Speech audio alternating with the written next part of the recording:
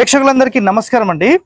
చాలా మందికి ఒక పనికి మాలిన ప్రశ్న వల్ల లేదంటే ఒక సమాధానం ఎవరో చెప్పడం వల్ల కొన్ని పుస్తకాల వల్ల దక్షిణం వైపు నడవకూడదు పడమర వైపు నడవకూడదు లేదంటే దక్షిణం వైపు జరగకూడదు దక్షిణంలో స్థలం కొనకూడదు నైరుతిలో స్థలం కొనకూడదు పడమరలో స్థలం కొనకూడదు అని మాట్లాడతారు. అయితే పిఎం వారి పాలెం ఓకేనా? Palem. PM Palem. So PM Palem దాన్ని ఫుల్ ఫామ్ ఒకసారి చెప్పండి అండి పోతిన మల్లయ్య పాలెం. పోతిన మల్లయ్య పాలెం. అయితే ఒక వైజాగ్ సిటీకి ఈయన ఉత్తర భాగంలో ఉండి మనము ఆల్వేస్ మాట్లాడతాం.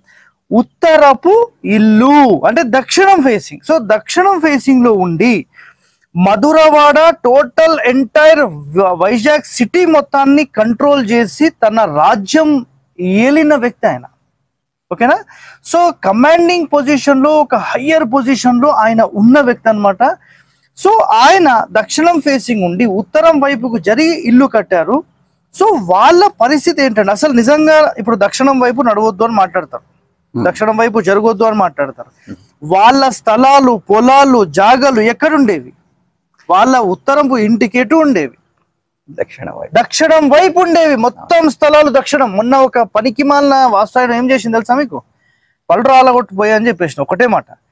వాళ్ళ ఇంటికి వాళ్ళ ఇల్లు తూర్పు ఫేసింగ్ ఉంది. సార్. తూర్పు ఫేసింగ్ ఇంటికి సార్ మాకు ఇట్లా సమస్యలు ఉన్నాయి అంటే ఆయన ఏం చేశారంటే అసలు అన్ని గమనించి అన్ని బాగానే ఉన్నాయి. ప్రాబ్లమ్స్ అన్ని ఇంట్లోనే ఉన్నాయి. నేను పోయి చూసిన. అన్ని ఇంట్లోనే ఉన్నాయి. ఆయన ఏం చేసినట్టే సలహా బాబు నీకు ఇరవై ఎనిమిది ఎకరాలు ఉంది నైరుతి వైపు.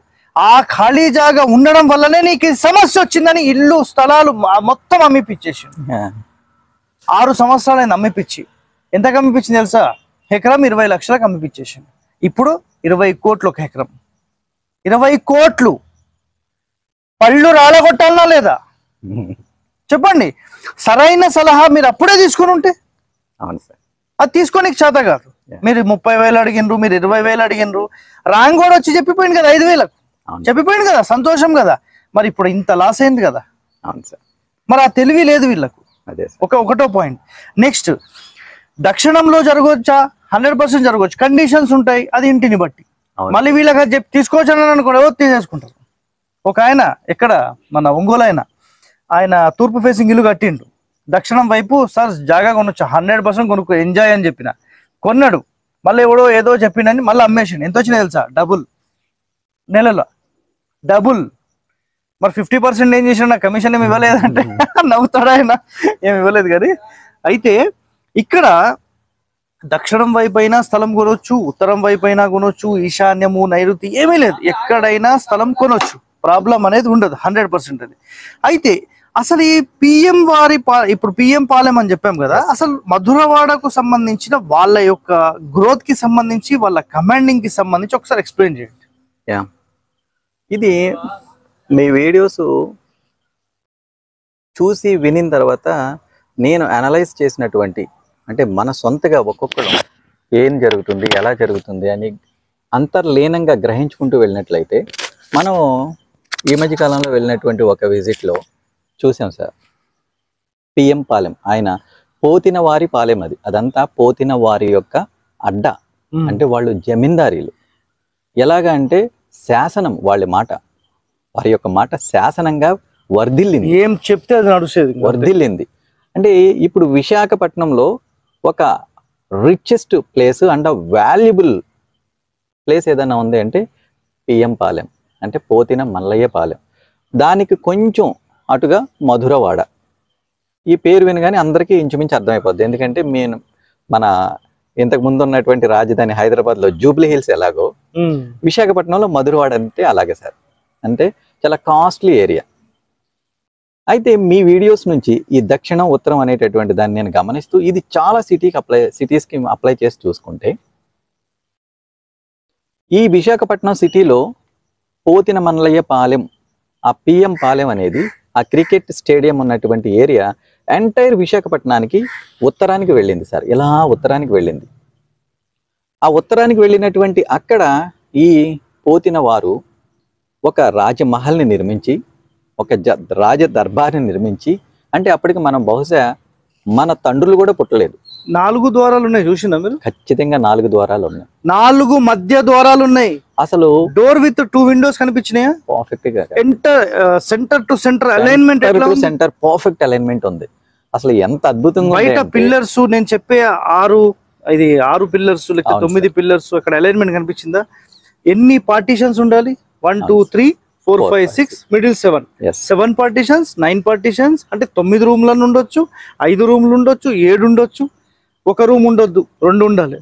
మళ్ళీ డ్యామేజ్. ఈ లోకల్ వాళ్ళకు ఎవరు నేర్పిస్తున్నారు అనేది అర్థం కావడం లేదు. అంటే ఇప్పుడు ఆ పోతిన మల్లయ్య వారి యొక్క ఆ ప్యాలెస్ ఏదైతే కొన్ని ఎకరాల్లో ఉందో దానిని ఇప్పటికీ ఎవ్వరూ ముట్టకుండా తనను తాను కాపాడుకుంటుంది ఆ స్ట్రక్చర్. వందల సంవత్సరాలు అయిపోయినప్పటికీ. దానిలో మనుషులు మరి ఎందుకు ఉండలేదు అండి అని కొంతమంది అడిగితే దానిలో ఉన్నటువంటి కొన్ని మార్పుల వల్ల మనం సమాధానం Center ఏ చెప్పొచ్చు. కట్టేసింది. సెంటర్లో నిర్మించిన ఒక స్ట్రక్చర్ వల్ల అని చెప్పొచ్చు. కానీ ఇక్కడ మళ్ళీ మీ సబ్జెక్ట్ని తీసుకుంటే దానిలో ఉన్నటువంటి ఆ మార్పు గాని చేసినట్లయితే దానికి తిరిగి పూర్వ వైభవం వస్తుంది అనేటంలో ఖచ్చితంగా ఏ విధమైన అనుమానం లేదు. ఇది. నా అవగాహన సార్ నా సొంత అవగాహన. అయితే కమింగ్ టు ద పాయింట్ ఈ సిటీలో అంటే పిఎం పాలెంలో ఆ క్రికెట్ స్టేడియంకి ఎదురుగా ఆ లోపల ప్రాంతంలో ఉన్నటువంటి ఆ రాజ మహల్లో నివసించినటువంటి ఈ పూతిన వారి యొక్క పూర్వీకులు అప్పట్లో విశాఖపట్నాన్ని టోటల్ అక్కడి నుంచి ఆ ఉత్తరం నుంచి దక్షిణం వైపు అంటే సౌత్ డైరెక్షన్లో సిటీలోకి వచ్చేవాళ్ళు. అంటే పూర్ణ మార్కెట్ ఎక్కడుంది అంటే అక్కడ నుంచి ఆ పిఎం పాలెం నుండి వచ్చినటువంటి ప్రతి వేస్తున్న ప్రతి అడుగు దక్షిణానికి అంటే సౌత్కే సౌత్కే నడిచారు. అంటే ఆ సౌత్ డైరెక్షన్లో వచ్చి సిటీని శాసించి తిరిగి మళ్ళీ వెళ్ళి అక్కడ ఉండేవారు. ఇంకో పాయింట్ చెప్పాలా మీకు? సార్. వాళ్ళు ఊరికి ఎడమ వైపుకి వస్తున్నారు ఎగ్జాక్ట్లీ సార్. ఎడమ వైపు. సార్. ఇంటి లోపల నుంచి బయటికి వెళ్ళేటప్పుడు ఎడమ వైపు పోవాలని చెప్తానా? ఎడమ వైపే సో ఎడమ వైపు పోయి లాభం సంపాదించుకొని వచ్చి కుడి వైపుకు లోపలికి వెళ్తున్నారు. వెళ్తున్నారు. పాయింట్ అది అర్థమైంది కూడా క్లియర్గా అర్థమైంది ఎస్ అంటే ఒక్క నిమిషం ఒక్క నిమిషం. మళ్ళీ ఇక్కడ ఒక కండిషన్ ఇప్పుడు వీళ్ళందరూ నైరుతి వైపుకి వెళ్తున్నారు. అవును సార్. నైరుతి వైపుకి వెళ్ళి అంటే దక్షిణం కదా. ఇట్లా వెళ్ళి నైరుతి. వైపుకి వెళ్ళిపోతున్నారు నైరుతి నుండి వెళ్తున్నారు. నైరుతికి వెళ్తున్నట్టు. నైరుతికి వెళ్ళనే కూడా పళ్ళరాలు కొట్టాలని అయితే ఇక్కడ ఒక గమ్మత్తైన విషయం ఏంటంటేనండి ఇప్పుడు మీరే కంపేర్ చేసుకోండి. అంటే హరి వాస్తు అనేటటువంటి హరి గారితో డిబేట్ చేయడానికి సిద్ధంగా ఉన్నవాళ్ళు దయచేసి ఈ పాయింట్ అండర్లైన్ చేసుకోండి. ఆయనతో డిబేట్ అయితేనే మనం మాట్లాడగలం. హ్యాపీగా హలో సార్ అని ఆయన హక్ చేసుకుని అయితే ఆయన మాట్లాడినవారు? ఆయన డిబేట్ మనం చేయడానికి రెడీ ఆయన ఎంతైనా డిబేట్ చేస్తారు కానీ ఫ్రెండ్లీగా మాత్రం ఆయనతో మాట్లాడలేదు డిబేట్స్ అయితే తీసుకొని పెట్టుకోనండి. సబ్జెక్ట్ మీద పాయింట్ మీద మాట్లాడినప్పుడు ఖచ్చితంగా మీరు ఆన్సర్ ఇస్తున్నారు సార్. నేను. మీతో. ఈ కేవలం ఈ సబ్జెక్ట్ మీద మాత్రమే ఎప్పుడు మీతో మాట్లాడేవాడిని సార్. ఇలా కాకుండా ఇలా చేయొచ్చా లేదా అని ఈ విధమైనటువంటి సంభాషణలోనే మన సాన్నిహిత్యం పెరిగింది సార్. సో ఇప్పుడు ఏంటి అంటే ప్రతి సిటీని మీరు అబ్జర్వ్ చేయండి. ఆ సిటీకి ఉత్తర భాగం అంటే ఊరు అనుకుందాం. ప్రతి ఊరికి ఒక ఉత్తర భాగం ఉంటుంది. ఆ ఉత్తర భాగంలో పర్ఫెక్ట్గా సరైనటువంటి అలైన్మెంట్తో డోర్స్ అండ్ విండోస్ ఖచ్చితంగా నిర్మించినటువంటి గృహం ఉన్నట్లయితే ఆ గృహంలో నివసించే వాళ్ళు ఆ ఊరిని శాసిస్తారు. అవునా కదా సార్? 100%. శాసించి తీరుతున్నారు. దానికి ఎగ్జాంపులే ఈ మధ్య కాలంలో మేము దర్శించినటువంటి ఆ పిఎం పాలెంలో ఉన్నటువంటి ఆ మల్లయ్య గారి ఆ ప్యాలెస్. కాబట్టి ఏంటంటే ఇక్కడ అవకాశం ఉంటే మరొక చిన్న సజెషన్ నాది. మీరు ఇలా కొత్తగా స్థలాలు కొన్నట్లయితే కొత్తగా కానీ స్థలాలు కొన్నట్లయితే ఇప్పుడు మా విశాఖపట్నాన్ని మీరు చూడండి. ఆల్రెడీ ఒక ఎయిర్పోర్ట్ ఉంది విశాఖపట్నంలో. అది నేవీ కంట్రోల్లో ఉంది. అంత కంప్లీట్గా నేవల్ ఆర్మమెంట్ డిపోర్ట్ అని ఉంది. ఆ ఎన్ఏవి ఎన్ఏడిలో కంప్లీట్గా వాళ్ళ కంట్రోల్లో ఉండడం వల్ల ఇప్పుడు కొత్తగా మరొక ఎయిర్పోర్ట్ వచ్చింది. ఆ ఎయిర్పోర్ట్ ఎక్కడికి వెళ్ళింది అంటే భోగాపురం అని విశాఖపట్నంకి ఉత్తరం వైపు వెళ్ళిందండి. ఉత్తరం వైపు. కంప్లీట్ ఉత్తరం వైపు సార్. అంటే అక్కడ నుంచి ఆ ఎయిర్పోర్ట్లో నుంచి వచ్చే వాళ్ళు అందరూ సౌత్ డైరెక్షన్లోనే సిటీకి వస్తారు. సిటీకి వస్తారు. అంటే ఇక్కడ మనం కరెక్ట్గా ఆలోచిస్తే కరెక్ట్ ద్వారకా నగర్ విశాఖపట్నంలో ద్వారకా నగర్ అనే కాంప్లెక్స్ మధ్య భాగం నుంచి మనం తూర్పుకు నిలబడి ద్వారకా నగర్ నుంచి సెంటర్ చేసి కుడివైపుకి చూస్తే అనకాపల్లి వరకు ఎడమవైపు చూస్తే భోగాపురం వరకు. మీరు ఈ వీడియో చూస్తున్న విశాఖపట్నంలో ఉన్న మీరు ఎవరైనా అవగాహన ఉంటే గమనించండి. అత్యధికమైనటువంటి ధనవంతులు ద్వారకా నగర్ నుంచి అనకాపల్లి వైపు ఉన్నారా? లేదా ద్వారకా నగర్ నుంచి భోగాపురం వైపు ఉన్నారా? అలాగే భూమి ధరలు అనకాపల్లి వైపు ఎక్కువ ఉన్నాయా? అలాగే వ్యాపారం భోగాపురం వైపు జరుగుతుందా? గమనిస్తే ఊరికి ఉత్తరం వైపు నుంచి ఆ ఉత్తరం వైపు నుంచి దక్షిణం వైపుగా ప్రయాణం చేసి వస్తున్నటువంటి వ్యాపారులు కానీ నడక సాగిస్తున్నటువంటి సభ్యులు కానీ అద్భుతమైన ఫలితాలను అందుకుంటున్నారు అనడంలో ఏ విధమైన సందేహం లేదు. ఇది మీరు కూడా సెన్స్ చేయండి. కాస్తంత ఆలోచించగలిగితే మీ అంతటా మీరు ఈ సబ్జెక్ట్ గురించి తెలుసుకోవాలనుకుంటే మాత్రం మీకు ఖచ్చితంగా ఒక అవగాహన వస్తుందండి. సో నా పాయింట్ ఏంటి అంటే ఒకవేళ కొత్తగా స్థలం కొన్నట్లయితే ఖచ్చితంగా ఉత్తరం వైపు ఏదైతే ఒక నడిబొడ్డు మార్కెట్ అంటే పూర్ణ మార్కెట్ ద్వారకా నగర్ కాంప్లెక్స్. ఇలా ఈ ప్రాంతాలకు మీరు దక్షిణ వైపుకి వెళ్ళినట్టు ఉత్తరం వైపుకి వెళ్ళినట్లయితే అక్కడ నుంచి మీరు వచ్చేది దక్షిణం వైపు సిటీలోకి వస్తారు. ఖచ్చితంగా బెటర్ ఫలితాలు మీరు రిసీవ్ చేసుకుంటారు. మరి ఇక్కడ ఇంకొక అనుమానం కూడా రావచ్చు. అయ్యా మధురవాడ పియ్యంపాలెం మరియు విశాలాక్షి నగర్ సాగర్ నగర్ ఇలాంటి ప్రాంతాల్లో కూడా అరాచకాలు ఆకృత్యాలు దొంగతనాలు దోపిడీలు అన్నీ జరుగుతున్నాయి. మీరు చెప్పినట్టు దక్షిణంకి వస్తే అన్నీ మంచి జరగాలి కదా. మరి ఏంటి అని అడిగే ప్రబుద్ధులు లేకపోనే లేదు. ఖచ్చితంగా ఉన్నారు. మరి వాళ్ళకి ఇచ్చే అంటే నా వైపు నుంచి చెప్పబోయే సమాధానం ఏంటి అంటే ఆ పోతిన మల్లయ్య వారి ఆ ప్యాలెస్లో ఆయన్ని అంటే ఆ యొక్క యోగం మరియు అదృష్టం ఆయనకు ఉంది కాబట్టి అలాంటి ఒక మహా అద్భుతమైన ప్యాలెస్ నిర్మించి నా పిదప నిర్మించిన పిదప ఆయనకు కావలసినటువంటి సేవకులు ఎక్కడి నుంచి వస్తారు? అంటే ఆయనకి దగ్గరలో నివసించాలి కదండి. ఆ సమయంలో ఇప్పుడు మరి ఆ మధురు ఆ పిఎం పాలనలోనే ఆత్మహత్యలు చేసుకున్న వారు కూడా ఉన్నారు. అయితే ఈ జమీందారీ వంశీకులకి మరియు జమీందారీ గారికి సేవ చేస్తున్నటువంటి ఎంతో మంది వాళ్ళ జాతకరీత్యా పొరపాటుగా ఏదైనా అన్యాయం చేసో లేకపోతే ఒక తప్పు జరిగో వాళ్ళకే తెలియకుండా తప్పు జరుగు ఆ శిక్షను అనుభవించవలసినటువంటి ఒక స్థానం ఆ ప్యాలెస్కి చుట్టుపక్కల్లో అంటే మధురవాడలోనే ఉన్నాం కదా అని చెప్పని అన్ని గృహాలు అద్భుతంగా నిర్మించబడవు. వాస్తు దోషాలతో ఉన్న వాస్తు దోషాలతో ఖచ్చితంగా ఉంటూ ఉన్నారు సార్. ఆ వాస్తు దోషాలతో ఉన్నవారు మధురవాడలో ఉన్నప్పటికీ ఆ ఫలితాన్ని అనుభవిస్తూ ఉన్నారు. కానీ ఆ జమీందారీ వంశీకులకి మరియు జమీందారీ గారికి సేవకులుగా మీరు ఉన్నారు కాబట్టి మీకు తినడానికి తిండికి కానీ ఉండడానికి ఇంటికి కానీ ఖచ్చితంగా లోటు ఉండదు. కారణం ఏదైతే ఒక రాజ్యాన్ని శాసిస్తున్నటువంటి వ్యక్తి పంచన వెం- వ్యక్తి దగ్గర మీరున్నారో ఆ ఎఫెక్ట్ మీ మీద కూడా ఎంతో కొంత ఉంటుంది. కానీ మీ యొక్క దోషరీత్యా జరిగిన పొరపాటుకి అక్కడ కూడా ఫలితాన్ని అనుభవిస్తున్నారు. కానీ ఇక్కడ ఈ ప్రాంతంలో ఉండి దిగువ ప్రాంతంలో ఉండి మీరు అనుభవించే పరిస్థితుల కంటే ఎగువ ప్రాంతంలో ఉండి ఆ ఉత్తరాన్ని నుంచి దక్షిణం వైపు ప్రయాణం చేసి ఫలితాలు అనుభవిస్తున్న ఫలి ఫలితాలను రిసీవ్ చేసుకుని అద్భుతంగా జీవనం సాగిస్తున్న ఆ జమీందారీ పంచనున్న ప్రతి ఒక్కళ్ళు అద్భుతంగానే దీవిస్తారు. ఇది డైరెక్షన్. డైరెక్షన్ మాట. దీన్ని హరిగారు ఎన్నో వీడియోలో చెప్పారు. ఇప్పుడు నేను ఒక కండిషన్ మాట్లాడుతానండి ఇప్పుడు ఉత్తరం ఫేసింగ్కి సంబంధించి మనం ఖాళీ స్థలం ఎక్కువ వదలాలా? దక్షిణం ఫేసింగ్కి సంబంధించి ఖాళీ స్థలం ఎక్కువ వదలాలా? దక్షిణ ఫేసింగ్ అన్నట్లయితే ఖచ్చితంగా దక్షిణ ఫేసింగ్ కే ఖాళీ వదిలి తీరాలి. అది మనం అక్కడ. చూసినాం కదా. ఖచ్చితంగా ఎంత అంటే ఇంతకు ముందు మీరు ఇదే ప్రశ్న అడిగారు అనుకోండి సార్. "ఆ, సార్ తూర్పుకి ఎక్కువ వదలాలంటారు సార్ మా వాళ్ళు. ఉత్తరానికి ఎక్కువ వదలాలంటారు సార్ నేను తటపటాయించేవాడిని టైంలో నేను చెప్పిన ఉన్నది Yes, అయితే.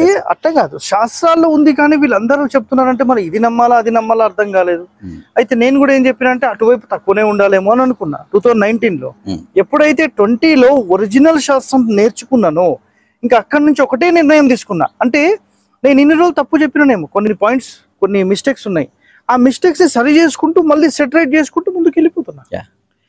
తప్పు చేసినాడు అక్కడికి ఆగిపోతాడండి. ఎందుకంటే నేను ఆల్రెడీ చెప్పేసిన కదా అమ్మో మళ్ళీ ఏమనుకుంటారు అనేది కాదు. నేను చిన్న చిన్న మిస్టేక్స్ చేసినవి కూడా మళ్ళీ సెటరేట్ చేసుకొని మళ్ళీ అందరినీ మంచి మార్గంలోకే తీసుకొని వెళ్ళిపోతున్నాను నేను. ఇప్పుడు నిన్న ఏదైతే ఆ దక్షిణ సింహద్వారం మనం చూసామో మన కారు పార్క్ చేయడానికి మనం వెళ్ళటానికి చూడడానికి ప్లేస్ అంతా ఆ ఏరియాలోనే ఉంది సార్. ఇది నేను లైవ్ టైం చూశాను కాబట్టి ఇప్పుడు మీరు అడగానే ఎటు ప్లేస్ ఉంచాలని కానీ దక్షిణ వైపే ఉంచాలని చెప్పగలిగాను సార్. సింపుల్ అలాగే అక్కడ మనం ఆ వీడియో తీస్తున్నప్పుడు నేను అడిగాను సార్ సార్ మరి ఇంత అద్భుతంగా నిర్మించినటువంటి మీరు అక్కడ ఏదో చెప్పారు చతుర్ముఖశాల సంథింగ్ చెప్పారు.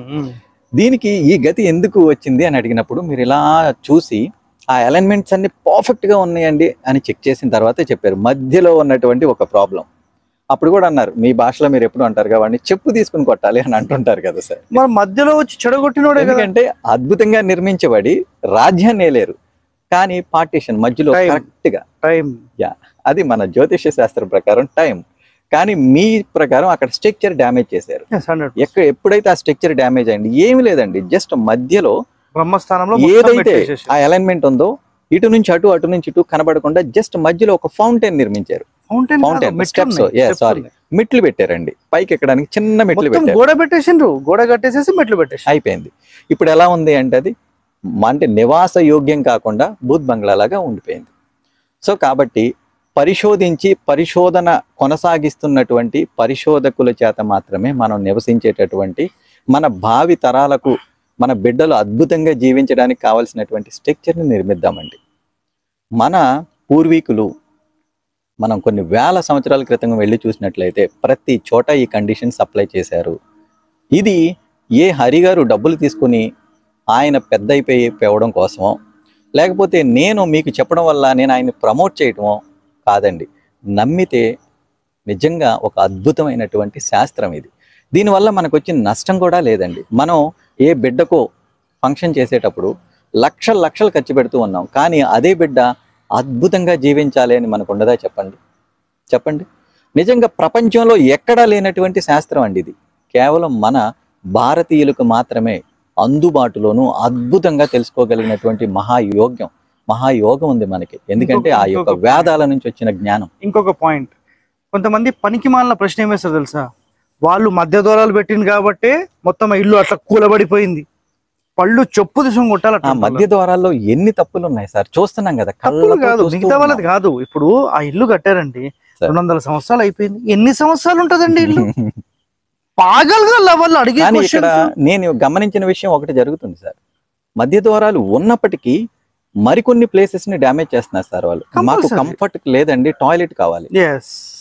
రాత్రులు మా వైఫ్ పిల్లలు బయటికి వెళ్ళాలంటే ఇబ్బంది పడుతున్నారు సార్ మాకు ఇంట్లోనే టాయిలెట్ కావాలి ఈ మధ్య కాలంలో మనం విన్నాం కదా మీరు కూడా చెప్పారు ఇంతకు ముందు బయట ఇంట్లో తిని బయట విసర్జించే వాళ్ళం ఇప్పుడు బయట? పనికి మాలిన తిండి తిని ఇంట్లో విసర్జిస్తున్నాం. దౌర్భాగ్యం. పనికి రాని విసర్జన అంతా ఇంట్లోనే చేస్తున్నాం.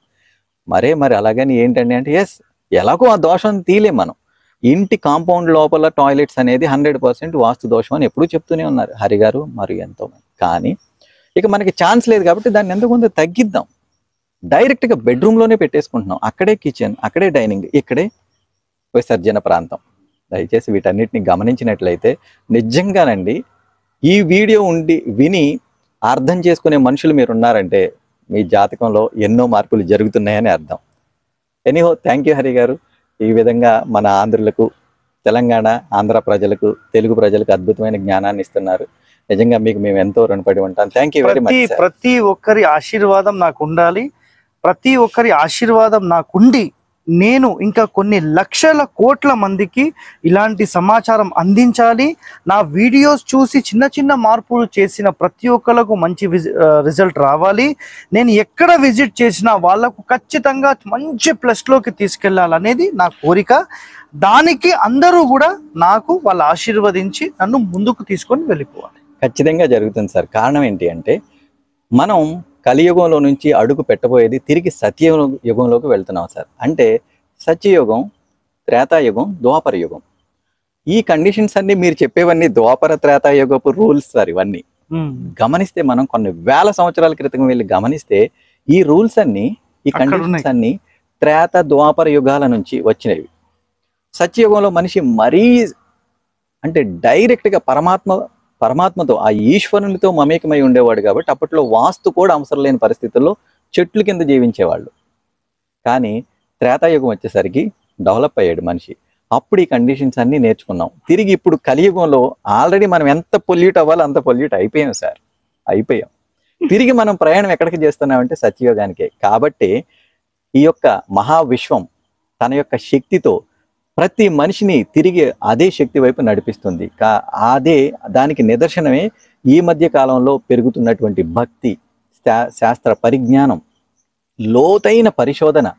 ఇవన్నీ ఎందుకు వస్తున్నాయంటే మనం తిరిగి సత్యయోగంలో అడుగు పెట్టబోతున్నాం కాబట్టి ఖచ్చితంగా ఒక నిర్దిష్టమైన కొలతలతో నిర్మించినటువంటి గృహాల్లోనే మనం నిర్మిస్తాం. అందులోనూ ప్రత్యేకంగా ఇంతకుముందు మనం గమనించినట్లయితే yes thank you thank you sir మీకు మళ్ళీ ఒకసారి కృతజ్ఞతలు. ఎందుకంటే మన ఇండియాని ఐఎన్డిఐఏ అనే వాల్యూ నుంచి నిజంగా మన ప్రధానమంత్రి నరేంద్ర మోడీ గారు ఈ వీడియో సాక్షిగా ఆయనకి నిజంగా నా శిరస్సు వంచి ఆయనకి ప్రణామాలు తెలియజేస్తున్నాను. బిహెచ్ఏఆర్ఏటి భారత్ అనే విధంగా మన దేశం యొక్క పేరును మార్చారు. గుర్తుపెట్టుకోండి ప్రపంచానికే ఎనలేని జ్ఞానాన్ని ఎనలేని సంపదను తిరిగి మన ఇండియా ఇవ్వబోతుందండి రాబోయే సంవత్సరాల్లో. మరి అలాంటి సంపదను జ్ఞానాన్ని మన మన భారత్ భారతదేశం ఇస్తుంది అంటే ఈ అఖండమైనటువంటి స్థితిలోకి మన భారతావని తిరిగి అఖండ భారతావనిగా వర్ధిల్లబోయే సమయం ఆసన్నమైంది అంటే మనం అలాంటి స్ట్రక్చర్స్లోనే ఉంటాం కదండి. Hundred percent. కదా సార్? మరి అలాంటి స్ట్రక్చర్స్ నిర్మించాలంటే మన ఈ భారతదేశంలో ఈ విధమైనటువంటి పరిశోధకులు వస్తారు కదండి? ఇదే ఇదే ఆ పరిణామం. Anyhow thank you sir. Thank you very much అండి. నమస్తే.